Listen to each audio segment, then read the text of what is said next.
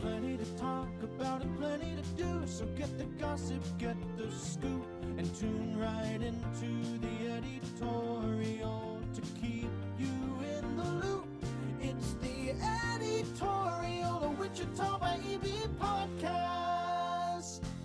Welcome to the latest edition of the Eddytorial. Today I have three guests with me Jordan and Jason Rickard from FioRito Ristorante Bingo. And Alex Eftekhar from Station 8 Barbecue. How's it going?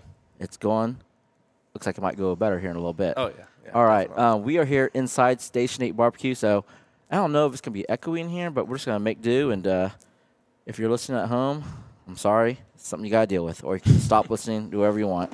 But uh, welcome, you guys. I guess get the introductions out of the way. Alex, you want to start off? History, all that fun stuff? Uh, Alex Eftekhar. I've worked in kitchens around Wichita for, oh, 10 or 15 years now. Aged myself there a little bit. Uh, opened Station 8 Barbecue a few years ago down here, and it's been going great. Yeah. Um, me and my brother Jason both grew up here. Uh, we both kind of traveled around for a bit. He went to Chicago. I went to Michigan. Then we both cooked in like Colorado, Denver, and Boulder for a long time. And then came back here and ultimately opened FioRito Ristorante, which is like our take on contemporary Italian food. And you guys both opened in 2022. Yeah, we actually met just from like eating at each other's Yeah, it's places. really like we funny didn't how know. that- e- This no- friendship was born over food for sure. That's how all good friendships should start. Food or drinks. Um, precursor. I am not a professional interviewer, podcaster, any of that crap. So this could go you really sure? bad. I'm very sure. All right. So you guys both started in 2022. That's like roughly. I mean, you started what February, March, May. May. So you guys about roughly two years after like COVID hit. So things are still on the tail end. Went by really quick, honestly. Like at, at any point before you guys were opening up, were you guys like, oh shit, like this is like, who, who knows if we should be opening a restaurant right now? The nerves were on a little bit for sure. Because you announced yours the year before. Yeah, I had wanted to the year before, and Yeah. things just didn't get any better out. Mm-hmm. But We had like a real time crunch of like, we started paying rent three months after we signed our lease. And it's like, all right, three months, we got to go. When you- when you guys when did you guys sign? Uh, the end of 2021. So December roughly. So it was about five months from. Man, that's got to be a, a brutal wait. Well, there's this weird anxiety of like, you feel like you have so many things to do, but on the individual day, you feel like, well, what am I doing today? Like, I know all these things need to get done, but I'm not doing them this second. Ah. And all you guys have had long tenures in restaurants before.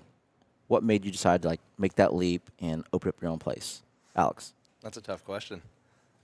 You have to answer it. I know I do. It's still a tough question.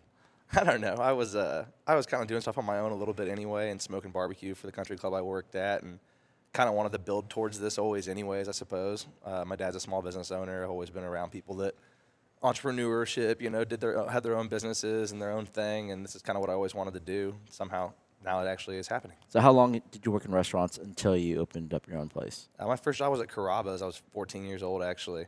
Um, I've worked a bunch of different places since then, but I spent seven years at Flint Hills National Country Club, and that really, really molded the love for food and kitchen work. And Was like owning a restaurant always like the end goal, or is it something that kind of evolved over time? it kind of evolved over time. I think I saw probably back in 2015 or 16 that I wanted to do this at some point. Uh, I don't know if I really knew it would take off like it has, so that's it's been pretty cool to see. Did you have like any formal training, like culinary school, or any of that stuff, or No, just really on in the kitchen training. Uh, I worked for a bunch of really great chefs at Flint Hills over the years, and just picked up on stuff here and there. But no, nothing formal, no actual school for it. Jason Jordan? You, Where did you go next? You went to culinary school. I went to culinary school. so you're the real deal then, or- at and this I table. tell everybody not to go to culinary school to like pay twenty four thousand a year, Yeah. and that's when I went mm-hmm. to then come out and make twelve dollars an hour. Like you're not like an electrician when you're done. You're yeah. And, And- you just you learn so much. I feel like just working in restaurants, you really do. Being around other people and their creative creativity and well, and doing things more than once. Yeah. like having a guy show you how to break down a fish. You've forgotten that by the end of the day. Oh, yeah. But like you break down hundred fish, and like it's a thing you can do. Like I was reading like one class synopsis of a culinary school I was researching, and there's like one on like making eggs, and they taught you like I don't know how many ways, twenty something ways to make eggs and whatnot. And I'm like, do cooks actually use all those you know methods, or No, I mean, they, I mean, yes and no theoretically, right? But like at the end of the day, which I think you're alluding to, like maybe there's a re- maybe a, you're a nice egg restaurant, right? And so you use four different techniques, five different techniques, right? All at, at the same place. But realistically, wherever you are, whatever the like egg preparation that you need to learn, like they're going to show you how to do that, right? And that might look different depending on whether it's like a, you know, casual diner or whatever. But that said, like Jordan and I often talk about how like like your your average IHOP has like some of the better egg cookery, right? Because those are the people doing it, right? Like you know what I mean? Like Yeah. you cook a thousand over easy eggs, you're gonna be be really good at it. So what's your background, Jason? Uh, so similar to Jordan's in that uh, I moved away. I went to East High, and then I went to school in Chicago, and I thought I wanted to be a lawyer for a while, and I ended up uh, not wanting to do that and trying to explore kind of a different avenue in my life when I was like 24. And I had just moved out to Denver, and my brother had been cooking for a few months or a year or something like that and he encouraged me to give it a shot because I was gonna start kind of like an entry level business job in downtown Denver, and I just like was really really not stoked about it. Um, and so I got into cooking that way of it being something I enjoyed doing when I was growing up, and then I started as a dishwasher at 24, almost 25, and then you know nine years later opened a restaurant, and here we are like 11 years later or something like that for me. So. So it's possible I could like quit my job, work as a dishwasher for one of you guys. Oh, and yeah. own Come my own on restaurant nine nine years. Yeah. I've Well, I've spent a day with you before. You that's, that's that's you guys do a lot of work and spent the whole. I forgot about that. there's a whole morning. I think it was like from in the yeah morning or something like yeah, that. Oh yeah. I would say that youth is very helpful, and no offense to any of us here, but we're all on like kind of the other end of the spectrum. I think of like being like a real like longevity kind of cook, and Mm. so I don't know. I think Alex probably has it harder than the rest of us, but it, like wears you down for sure. There's a Bourdain quote that I can't think of right now out of Kitchen Confidential, but he goes through the ages of the line cook. He's like, man, by 37, he's like, if you're still running your own line, he's like, you're just beat. Yeah. it's like, yeah, I can see that. I hear owning a restaurant ages you like parenting in a way. Oh, the white hairs are crazy. Oh yeah. There's also like a big stress difference of like even if you're like uh, like Uh, as executive chef someplace, you have a slow night or whatever or a slow week, and you're like, yeah, that's kind of how things go. Because at the end of the day, you're still getting paid. But if you own a restaurant and you have a slow week, all of a sudden, part of your brain's like, well, We're we're, we're, we're doomed. Like, all right, well, and, this really sucks. and your identity kind of extends out to the restaurant a bit, and it's not like, oh, they don't like the restaurant. It's to a degree like, oh, they don't like us. So let's let's talk about the guys the food because that's the most important of what you guys offer.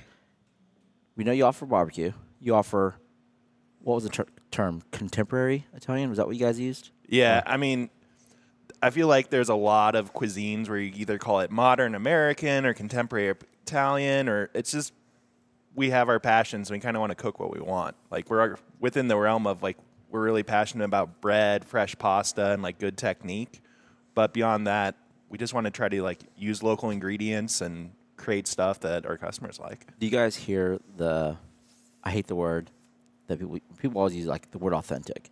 You know, like for me, people was like, where can you get you know like authentic Vietnamese food? And knowing from my parents or my mom more specifically, like there's different styles. You know, Vietnam still a small country, but still relatively big. The North Vietnam, South Vietnam, you have different, you know, cuisines. You have different spices used, whatever it is. And I'm sure it's the same way, you know, in Italy. So, do you guys get that a lot? Like, you guys aren't like authentic Italian, or you guys should be doing this versus that? Well, so just like hypothetically, and what you're talking about, like I, I agree, and I think that like whatever, I mean, everyone has a different knowledge base, right? But depending on what your conception is, it's grounded in something. It's on a trip you took, it's a restaurant you eat at, it's whatever. So then for you, your expectation of what authentic is generally grounded in what do you eat at, what have you experienced, that kind of thing, right? But the idea of chasing authenticity is kind of like a, a like a, a false hope, I guess, because it's just a moment in time, right? So, like, let's say you grew up in one part of Vietnam in the 1980s versus you grew up in a different part of Vietnam and you were born 20 years later. Your conception of what you consider authentic Vietnamese food to be is going to be very different than that, right?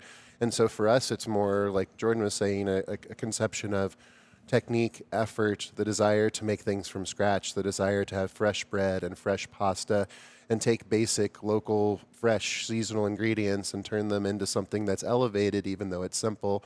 And those are all the things that I think are like most Italian. We, I mean, we use a ton of olive oil and stuff too. I mean, there's like other elements to it, but I think that to say any one thing makes something authentic or not authentic is just someone protecting their own their own conception of what they consider something to be. And that's okay like everybody should have their own conception of things but i don't know if it's good to like exclude others based on like what you find to be italian or not italian.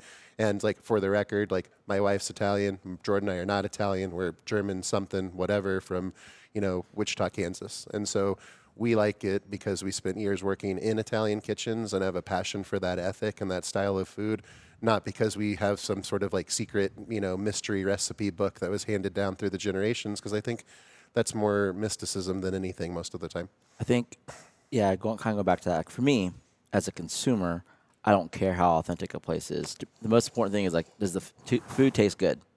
And if it tastes good, that's fine. Like I can go, to, I can go to your restaurant.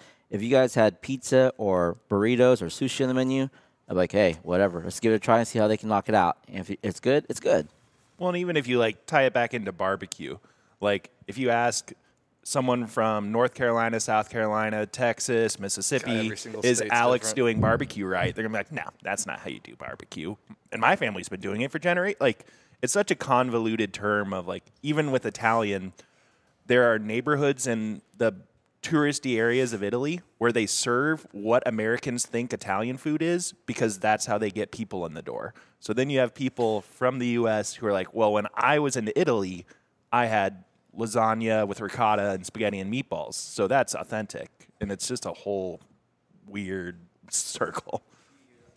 the barbecue opinions are nuts. I'm blown away. Just, I mean, the different styles and what people come to expect in different states, and and we're honestly we're kind of a blend here. I have a vinegar sauce on the menu, but I use sugar in quite a bit of our sauces and rubs, and so you got Kansas City style, got Memphis style, a little bit of Texas style with all the post oak we burn, but still everyone will come in and try to compare you to another state or another visit they've had somewhere else, and Some people will message me like, so I saw you wrote something good about Station 8. Like, how's it compare like Memphis style or Kansas City style? I'm like, I don't know. I don't care. yeah, I was like, I like the food and it's barbecue. Go give it a shot. Yeah. you And- might like it.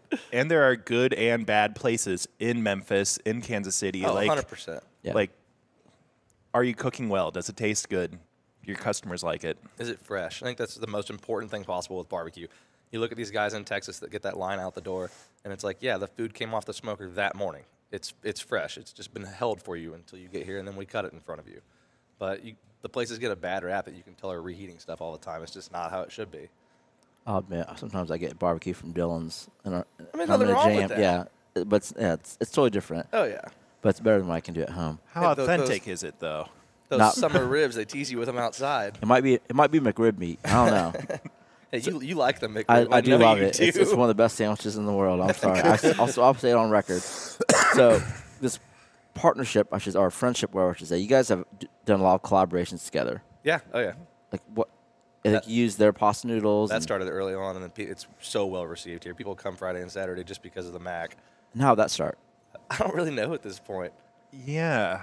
I mean, I think just us kind of BSing and hanging out, and it's like, hey, you want some pasta for the mac and cheese? And And I think but it of course, started as a course. special, and then it, you started doing it every week or something Yeah. like that. I mean, and now it's like a full year, and I don't know how long of it, but And- we never stopped. And sometimes you like br- like bring us like family meal over or something, and it's it is crazy how much like like the radiatori noodle.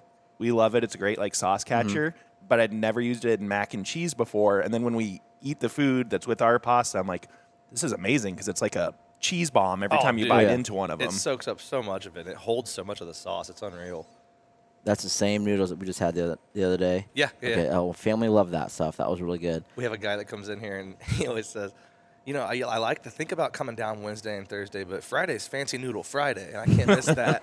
like, his name's John. He's a good dude. But And how have you incorporated Station Eights?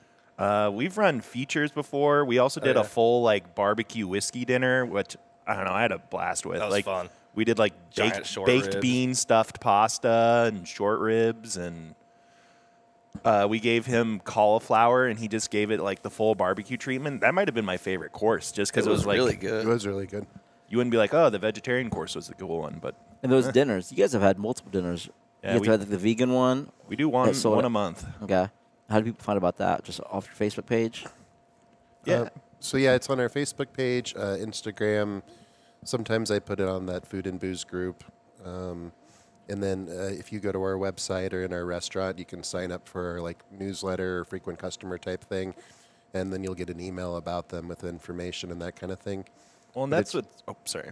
I was going to say generally though it's one Tuesday a month.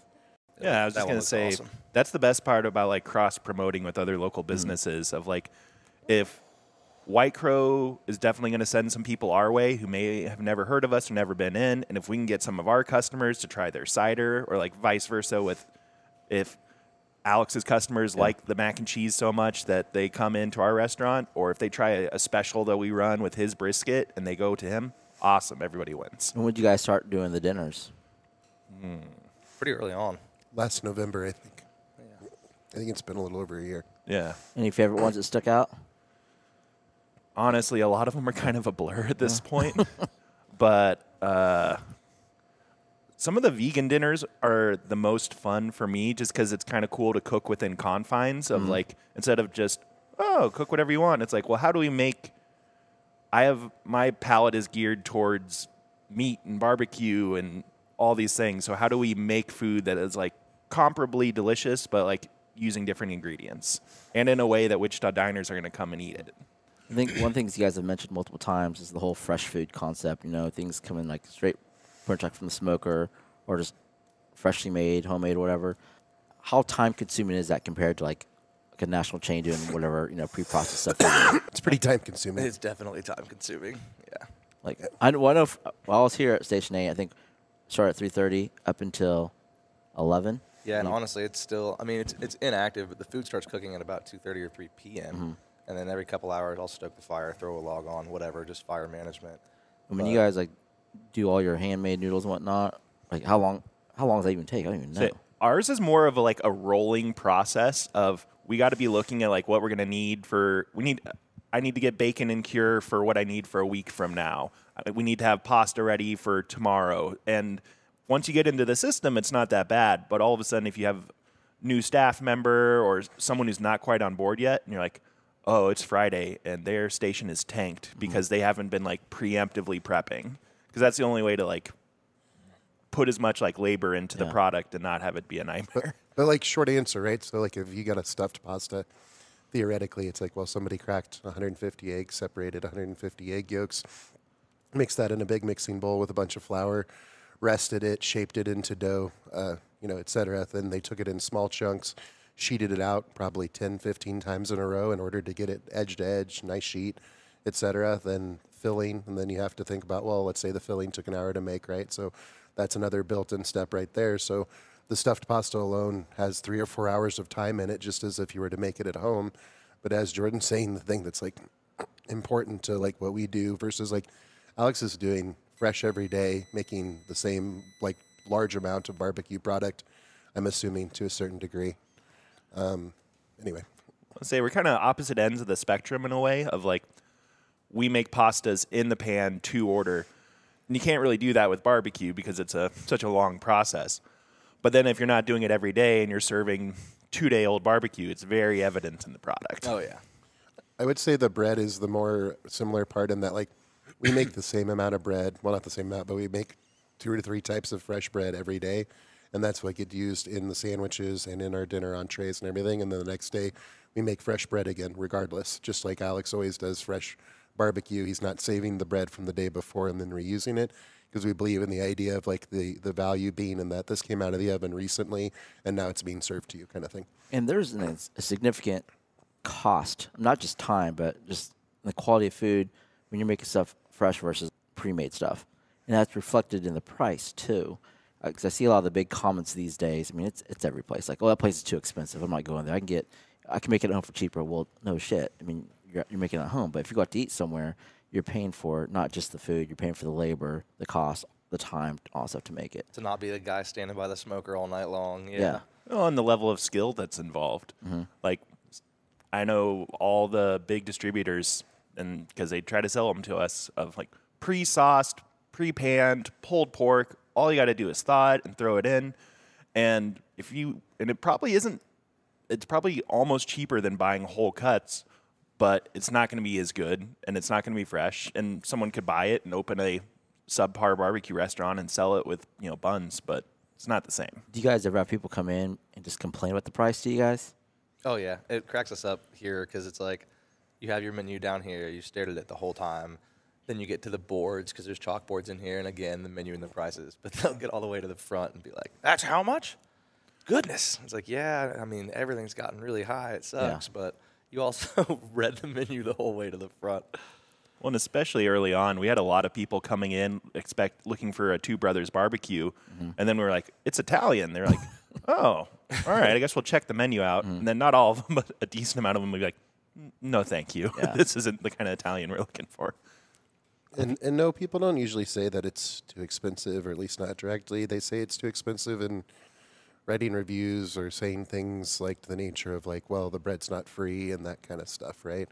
And so I think that it's like, well, when you're like talking to the guy who you know spends his whole day making fresh bread, the idea of giving it away for free seems kind of like a you know unfair one to us sort of thing. And then or people say things like you know, and there was no bread.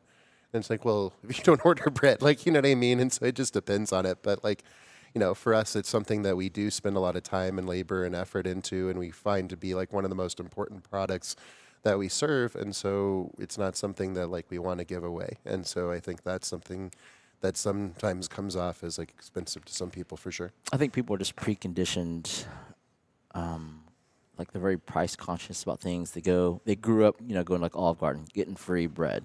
Grew up going like on the border getting free salsa at a Mexican restaurant, or I can't even think of any other examples, but just or dollar tacos even at Mexican places. No, like they see a place that sells tacos for a dollar, and then a new place opens up and they sell for like three or four dollars. Quality could be higher, the rent could be higher somewhere else, but there's they always kind of know what they're used to. You know, I saw someone post this morning. He said, "I don't go out to eat to burger places very much because I find all the places to be expensive." And then and then she starts talking about a restaurant she went to in the '70s, and I'm thinking, well, of course it was cheaper in the '70s. Yeah. But uh, then I'm like, how much? What, what's expensive? What's a, what's what's an expensive burger to you? She said, I think like nine dollars, or something like that. But I feel like we're at a level where the average price of a sandwich and a meal is going to be around ten dollars, and that's just the future of things. Uh, the burger price would be like nine dollars. And all of it's still so recent. It's crazy to think like inside that diner, the menu board is up. I think from only two years ago or something Mhm. like that. And you look at it and it's like, huh, that is really cheap. And you read like everything in there is like four or five bucks, six Yeah. bucks. It's like no, everything has jumped drastically since COVID. Yeah, I remember when Dempsey's Burger Pub opened up over in um, Clifton Square, and their burgers were around nine dollars. And this was probably back in 2017, 2016. I don't even remember when it was, but everybody balked at the, the burger prices. And I think the only other place in town, or that people knew of, that sold burgers that high was BurgerFi out in New Market. So when they came in town, also their burgers around nine, ten dollars, and people weren't used to that. But now we're seeing, you know, a lot of places are starting to like get to that price point where yeah, burgers gonna cost you around ten bucks. beef in general is just it's, it's I mean it's literally I, think back to I worked in a butcher shop in 2020 for a while and I think we were paying like a dollar eighty a pound for brisket and like we were talking about just 20 minutes ago or so brisket's mm-hmm. over five bucks a pound right now for the for the prime for the good stuff Yeah, so I definitely encourage people to you know try to make all the stuff yourself, especially when you're like smoking food or I smoke food at home, and the sheer number of hours it takes to do it. I'm waking up sometimes at four in the morning. It's fun, though, Start too. up. It's fun. It's fun until the end of the day hits and you're tired. Yeah. And you have a kid that won't go to bed, and you're you have all these things chores you have to do at home. Clean the house up. It's just yeah, I'm out. Well, and while we got a soapbox, just so everyone knows, there's no such thing as free bread or free chips and salsas. it's not like the owners are just eating the cost of that. It's reflected in the menu prices everywhere. Yeah. Like, oh, usually a treat. It's it's 20 never free. $22 fettuccine alfredo at Olive Garden Uh-huh. it's in there What kind of trolls do you guys get? What like what negative feedback have you seen that you're like, why is this even come my way? I saw one for you. Some gentleman complained about was it the grease, yeah he said the brisket was fatty really fatty, and then you offered to replace it for him or even deliver it at one point. that guy was having a bad day And he was having a really bad day. He did not want to have anything of it, and No, he, he- let he you did not. know and the world know what he thought. It's just like, is this something that happens quite quite often to y'all? no I wouldn't say often but it Uh, sticks out. But yeah, I Yeah. mean, we, Oh, def- negative we, feedback. we absolutely remember the ones, you know. Yeah. Like I got one in my head specifically that cracked us up because he was like, took us outside and wanted to talk about the wood and had advice, and I was like, "Well, did you like everything today?" And he's like, "Well, if I had done it my way, I would have done." And then gave us got a long ramble again. I mean, there's funny people, but it does. I wouldn't say that it's all the time or anything Yeah. like that. Well, and this was at a different restaurant, but I just remember the bluntness of this. Like I did a wine dinner and handmade porchetta with braised local greens, and it was like a labor intensive, like nice dish. And a guy just looked at me point blank and said, "Instead of greens, it should have been risotto." And I was like, "Why? Because you like risotto, or that's how these dinners usually go for you, or?" But just like, no, no, the best way is the way I like it. What other struggles you guys have? Staffing? You guys pretty good on staffing? Is, is it hard to find work out there for y'all? it's easy to find people. It's hard to find the right people. I think we both have pretty. I mean, for the most part, meeting some of the guys at your place, we both have really awesome, dedicated employees that definitely make the place. But yeah, it's still tough. I have a hard time with it just because of the hours here starting so early.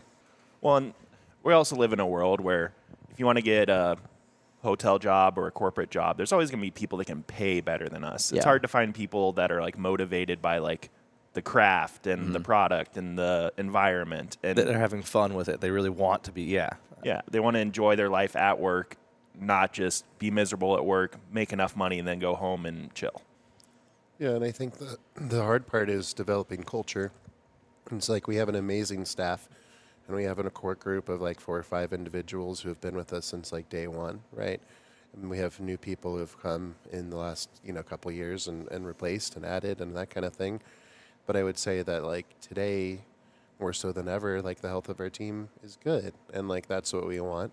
And I think that it's a two way street too, though, of like Alex with his staff and we with our staff, like we're like working with them. I mean, trying to pay them as well as we can, trying to like reinforce the things that like make it a good restaurant to work at. You know what I mean? Good food to eat, good food to serve to others, hospitality. You know, being happy about where you work, taking pride in where you work. Like, and those are things that think I think take time to develop and so I don't know. I would say that's like staffing wise, like you know, the the hard part is getting to that point, and once you get there, it's a little easier maybe to find staff. I think that can kind of fit in when needed. You know what I mean? touching on pride, I love going into your place when we come to pick up pasta because someone's always like, Aaron's like, come check out this bread. Like, I changed it a little bit. This is what I did to it today. I mean, it'll be the best thing you've ever had. The focaccia is what I'm personally thinking of, but someone's always excited to show me whatever they've been working on. Right, and that's what makes it so cool. Like having having a, a restaurant like ours is there is like Aaron's a great example, but like we have a lot of great examples of of staff who are just you know really like excited about what they're working on, the next dessert, the next pasta shape, the next whatever, and we really want to encourage people to take that kind of artistic license and work on things and do fun things and like work on specials and menus that mean something to them and not just to us because like at the end of the day we want to kind of like you know, help gently lead the ship or whatever, but it doesn't have to be like, you know, exactly what we want or exactly our our, our dishes or menu or whatever. We just kind of want it to be a, a good environment and a, a, a good place for people to enjoy. An extension of your guys' staff is your family. I know both you guys have your parents at your places every now and then doing whatever. What's Oh, that? yeah. What's that like? My dad's bored. He loves hanging around in here. 'Cause he's always out there greeting people. he really enjoys it. I mean, he, he, he he's not he's never worked in a restaurant. He's probably never had that amount of traffic all day long. So I, I think for a while it took him a little bit to get used to talking to that many people and saying hi that many times. Yeah. But he, you can tell he loves it. And their mom is the sweetest woman in the world. I love going in there and getting greet, greeted. She by still her. help host and Uh, around. yeah. Well, I also think eh, like it'd be nice if everyone could work in a restaurant for at least a little while, just Oh, for yeah. perspective, because it's kind of grounding. And I think it's been like good for my mom in general. But like, it is funny to see the influence back and forth of like growing up. My mom was like never swore, never foul language, really on us about it. And the other day, she was, I was in her car, and she was like, "I came in yesterday, and the linens are all fucked up." and I was like, "That's new." But yeah, our, our, our mom uh, our mom works works a lot in, in the restaurant and she loves doing so. She requests to work. She's like, oh, I want to work Yeah. Friday night because Friday nights when I get to see my friends. Like, and so whatever she does, she does because she wants to do it. But at the end of the day, it is really helpful to us, and that's awesome. And she's she's so proud of you guys. I always love. Like, That did, you- did you see what that they too. did last week? Did Well- you see what the special was? I'm like, yeah, yeah, I did. Sorry if it's too much, folks. The, the, the amount of customers that we get who are like, oh, I was talking to your dad, and that's why I'm here, or your mom was talking you guys up, and like, it's very sweet. And It is. It's cool. I mean, I think I went for lunch one day and your dad was there and I sat next to him. We just struck up a good, cool conversation. You could tell he's incredibly proud of y'all.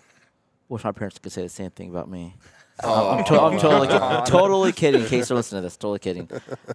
So, do you find like the customers are in a better mood just seeing like a parental figure at the front versus like a 15 year old kid or a 20 year old person? You know, We're really loud with everyone as far as like greeting them and talking to them and trying to make people laugh. Mm-hmm. So I think we're almost exempt from that. But yeah, I think I think there is a bit of a difference. You can tell when the person cares when you walk in and they're like excited that you're here, or Yeah. if they're just like, oh great, I have to do my job real Yeah. quick.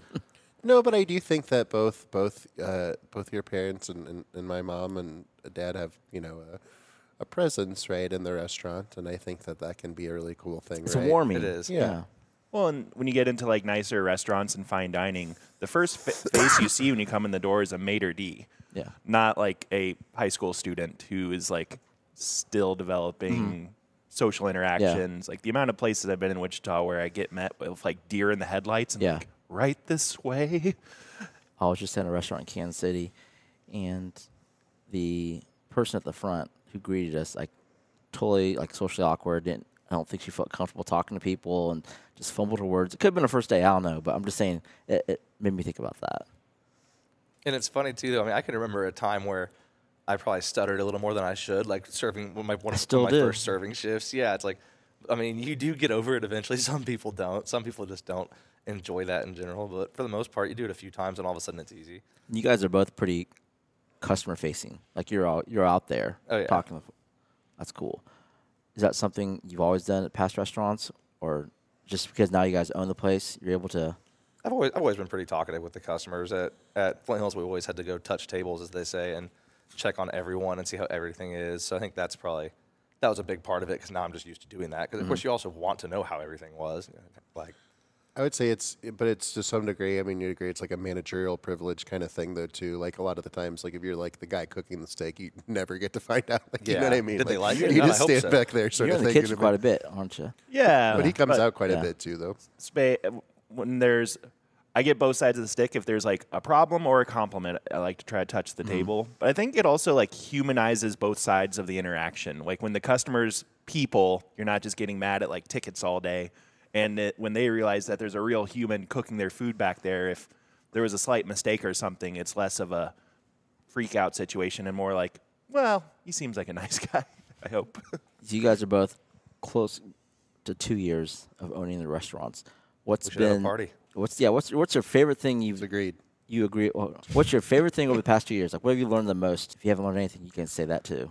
I mean, okay, yeah, I've learned a lot. I'm trying to think of one thing in particular. Well, honestly, I, not to answer for both of us, but I think me and Jason have really learned how, like, the most important thing is family, and I think we've really learned how to interact with each other. Because when you're just like, fr- like uh, friends, effectively, your interactions are very tertiary. You're laughing, but like it's been an ordeal. But we've made a lot of progress of like learning how to like tackle serious issues and like tough times together, and like how to like communicate in a way where we're not as much as this might contradict just talking over each other all the time. Yeah, I would say that that's true. I mean, like Jordan and I have an exceptionally weird journey. Like we're we're less than a year apart. We used to like play doubles together in high school. Doubles Uh, what? Tennis. In tennis, Yeah. yeah. So uh, we've had like, yeah, and we and we could literally be like having like, oh, we're gonna win the tournament, no problem, and then like we'd have like a like a hissy fit in like the semifinals and start fighting about some bullshit and like throw the whole thing. And so that's you can't do that when it's the business. It's like we're married now or Yeah. something, right? Where it's just like there's too much on the line for one of us to be like, I quit. And so not that that like as is has been a thought recently, but I'm sure it's a thought we both had at some point in the last two years of like, I don't know about today, you know what I mm-hmm. mean? And so overall I'm glad that we're both here and that we made it and we're certainly I think truly like stronger than ever in that sense. But it was a test, right, of that relationship. It's a test of the relationship with our mom sometimes of when it's like we're literally out at we're at Livingston's in the morning having breakfast and all of a sudden we're just like talking about work for no reason, Yeah. right? You know? And so that's the thing too, is like it is good to kind of like weave work throughout your life and if a way you can like find a way to balance it. But I think sometimes too, when it's like your your family and your and your my my my wife helps at the restaurant a lot too. Rachel's like hugely instrumental. And so it's kind of like everybody has this one easy topic of conversation. So it becomes easy for that to be like the only thing you do, think about, talk about, whatever. And, you know, I'm, I don't think that's probably generally good, but I don't know. I, I hear that. That's all Yeah. anyone wants to talk about anymore. Yeah, Which we- it's not a bad thing, of course, but it's also just like, where's the escape from work? yeah, right. What is, when's the when you go out, day the off? question's always like, "Well, how's the restaurant going?" Oh, it's blah the blah. first- first or they thing. ask like barbecue tips or whatever. oh yeah. Okay. I love the barbecue tips. I love Yeah. talking barbecue for the most part. Just not business side of things. Yeah, just not the business side of things. Yeah. I had a weird wave of stress when we first got here, and I watched you walk down from upstairs. Of like, "Ah, I can't imagine if I lived above the restaurant. I do. I definitely like have to leave at the end of the day for at least a half hour or something. Because yeah, otherwise I am quite literally always here. But which is a good thing for the barbecue, but it's also uh, not so good thing sometimes for your mental well-being. But with your smoke schedule outside, wouldn't it be Im- impossible for you to not be here all the time? You know what I Oh yeah, Like- so, someone has to be here. Yeah. Um, I haven't really found that person yet because of course the shift sucks. I mean, eh, hey, can you come work from six to three or four in the morning? It's like no, nobody's really that excited about that. Listeners, it's probably an amazing job. Apply. I mean, yeah, it's a fun job. Yeah, believe me, I'll Yeah, feed you yeah, well. sell it right. But no, I get it. I work from home, so like I'm there all all day long, and sometimes when five or six o'clock hits, I'm like, I gotta get away for a little bit. Oh, yeah. Even, even if it's to Dillons or Target, wherever, get gas. I'll drive around the block. yeah, we all agree Gucci Dillons is awesome. I used to be a Gucci Dillons guy, but I moved out west, Oh, so I I really miss it. I went by, I saw the remodel, the renovation, the new floors. Super jealous of y'all. Yeah, well, the screens on those fridges are stupid, but the cheese and everything else is amazing still. when I was single living out east, funny story, I uh, I went to school near there, so I'd always run into like friends' parents and whatnot. You know, single, and sometimes they'd be like, "Hey, you should come on over for dinner tonight. If you have nothing going on." I'm like, "This is awesome." I was like, "I don't even have to- I just stopped by Dillons to get invited to free meals at my friends' parents' houses." So, no, that's that's uh, best Dillons in Wichita. It's definitely a social hangout too. It cracks is. cracks me up. Well, yeah, you can. I can see the other people who are also grocery shopping at like 9:30 p.m. and like you can just spot kitchen people from across the room. Oh, just like, yeah. yep, right pants, right shoes, slightly stooped. Looks just got out of the exhausted. shift. 2024 is uh, coming up, or I guess we're here now. This will be released then. You have a new restaurant coming up. Anything you want to share on that one? slowly. Uh, it's it's going a little slower than I thought, but it is over there, and we've got concrete poured, and it's starting to it's starting to look like a restaurant again finally. So that's exciting. How many times have you woken up saying, "Why did I get myself into this?" Oh, every day. Every day. Every day. Yeah. No, I mean it's a it's a love hate. That's for sure. It's had its uh, it's had its hurdles to get over, and there's plenty more to go over still. But Are the, a lot of the staff here at Station Eight helping out? Like, they're, are they they're so involved? excited about it. Yeah. I don't know. They all have a a pretty full schedule here, honestly. So I don't know how many of them will truly be over there, but they're Yeah. all yeah. They all they all want to do something there so bad. What do you guys have going on for 2024? Anything exciting? New dinner series? New? I mean, we're keeping up the same dinner series. We're doing one a month. We're trying to cross promote. We're also always like keeping an eye out for the next venture, just because like our staff grows with us, and at a certain point, you want to like give them like keep it fresh for them, give them something new to do, new responsibilities, like new opportunities. Yeah, definitely. We'd love to someday find a bigger either space or production space. Um, and like down the road, we have other ideas and things we'd like to look into. But for this year, we're focused on continuing to grow FioRito and work on improving our service and food and kind of staying focused on being better. I would say that like one of the things that's kind of like a hallmark for us is not that you know we've been perfect from from day one, but that like every day we're a little bit better than we were the day before. And like Alex was talking about, we have dedicated staff members who are like, the focaccia was good, but could be better, right? And so it's kind of about pushing and guiding to do that and to make those changes. And every time we do a menu update, so I mean, we're going to do another menu change here at the end of the month. I'm ready for some more of your guys' burgers. I don't know if, if you have you I had a burger never. there? Jeremy to, Fert told me about it. We have one Okay. together. There was, Okay. dude, they are incredible. They're so good. Outside of the restaurant, nothing food related. Hobbies. What do you guys do outside of the fi- restaurant? Uh, Hanging out with my wife, hanging out with our dogs, uh, pickleball. You You play pickleball? But yeah, yeah, these guys do too. Yeah. we'll have to play together sometime. Yeah, we I should. picked it up in the past year. It's fun. Pickleball I podcast. There I, you I go. love it. Let's just let's put on some headsets and just play. Pickleball. it's easy on the knees. But my, my wife loves it. She she got me into it. Honestly, I was like, nah, I don't want to go do that. But it's really fun. It really is. I played my first tournament last year and ended up getting second place. Oh, okay, you're good. I gotta No. watch out for it's, you. it's recreational league, and I lost to, to a pregnant lady and her partner. So, whatever. But hey, I'll tell you what. One thing I learned about pickleball is, regardless of your gender, shape, size, whatever, like there are people of all whatever that are excellent. Oh, yeah. uh, first time I played, I was like beating up with my friends, winning all these matches, and I played this older couple, and I'm walking in just ignorant, thinking I'm gonna beat them, and they just they put me to shame. And then they're like mentoring me and teaching me, and I just took it in. And so I'm like, uh, thank you, thank you, thank you. Oh, it was great. It's I- funny I to watch it. Even at Chicken and Pickle, you look like to a few courts down, and it's like that guy, guy has to be in his 80s, and then he's just hitting the ball like you've never Yeah. seen. I mean, people get into it; they're good at it. I, I love it, and I'm competitive, so that I'll take that all day. I, it's okay. No, I agree. It's like a great blend of like competition and accessibility where like as long as you have like decent like hand-eye coordination and are willing to practice, like you can get pretty good at it. And you guys, are, all- you guys still play frisbee golf? I remember one time we talked about that. I didn't play at all this summer in Kansas. I played twice, no, three times in Colorado, uh, which is not terrible. I'd like to play more like once a week, but I did three times this summer, and I want to play more in like locally. There's so many courses in Wichita and Kansas, like everywhere. I didn't even and know. when we did go to the ones in Wichita a couple years ago together, they were so empty, like just like dead. Like it would be like us and like two other people out on the whole course. It was wild. It's probably been 30 years, or maybe 20 years since I've played last. Dang. So, have you ever played? It's been a long time. I mean, well, not as long as that. It's probably been like five or six years, but I'd love to again. But it's kind of something I never think of, which Yeah, I don't know yeah. why. But I think pickleball's taken over, and uh, everything else. I mean, who knows? Golf, but uh, definitely we should get the four of us out. pickleball is definitely the But sport, pickleball sport first. of oh the man, years. I actually have three rackets in my car. I'm ready to go whenever. I got the pickleball shoes. We'll go over here to Riverside. It's cheap and easy to make a reservation. We do that quite a bit, actually. You can just get rid of all your seating into a pickleball, Pickleball court. court in here. Let's do it. Station eight pickleball. God, You have the room. Just remove, remove Hear that these tables and right pickle? here. He's coming for you. I don't, know if, any, Barbecue I and don't know pickle. if anyone remembers when it was Jet, but you could play him in ping pong for your food. And like this wall behind you, Eddie, actually was full of sign. Well, not full of. It was there were signatures on there if Yeah. you beat him, and there weren't very many. But he, I loved him for that. John Jet.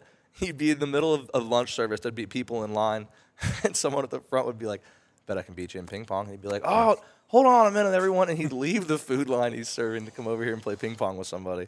He was good. He was scary good at it. Guys, it's such an on the nose concept that like it almost should be like if you're like, oh, they're opening up a new barbecue and pickleball restaurant. And you're like, yeah, I believe that. It's Wichita Dude, you. somewhere in the nation that's happening for sure. All right. Um, where can they find you guys? Address. Oh, Throw the yeah, address out sorry. there. I don't even know. just Right here, through that for a man. I'm right down here. Yeah. Downtown Wichita, 1100 East 3rd. Uh, we're at the corner of 3rd and Wabash. Wabash is just one block east of Washington. And we're at 3134 East Douglas, which is the corner of Douglas and Hillside, on the northwest corner there in front of Dillons. And we're open for brunch on Saturday and Sunday, uh, lunch Tuesday through Friday, and dinner Tuesday through Saturday. And uh, yeah, we'd love to see you. Come on by. yeah, Oh. we do a wine dinner a month, and The brunch is excellent. You have to go. Yeah, Alex. Alex is our most regular brunch customer. I'm going to have You've to totally have got to- it. I'm Hey, gonna next time, to next time you go, let me know. I'll, I'll join you. Yeah, yeah, I have not done the brunch. Any given Sunday. Okay. do you want do you want to share your hours, or do you think it'll piss people off? If I do, I do not share my hours. It- I mean, it's going to piss You're gonna piss me off. We're, we're open Wednesday through Saturday from 11 to 2. How uh, dare you? Only we three hours. outgrew our kitchen very quickly here. I mean, I mean, I'm, I think we served like 500 people last Saturday. It was, So- I, I took a picture of the line that this past It's great, Saturday. and it that, was that line crazy didn't long. die till we were just out of food and it's two o'clock. And it's like I'm really sorry if you came in at like at the end of the day. There's And not people much even left. get pissed off about the line on top of the hours. We're fa- we're fast with that line, honestly. Mm-hmm. I uh, I mean, you could call him a plant, but we jokingly a few times have put a buddy at the back of the line, and we're Yeah. like, how long is it going to take him to? He gets to the front pretty quick for is that what a job? it is. Is that a job people can apply for? On Yeah, top sure. of like being Yeah. here from six Yeah, to it pay- pays with a two meat combo. Okay. awesome. Well, Alex, Jordan, Jason, I appreciate y'all hopping on. Thanks for having us. Yeah, we'll do this again. If not, we'll play pickleball or Always fun. frisbee golf. Or We should do both. some pickleball. All right, let's do that. All right, thanks all for listening. Be sure to like, scri- subscribe, follow, all that crap. I don't know. I'm, s- I'm getting out of here. We'll see you.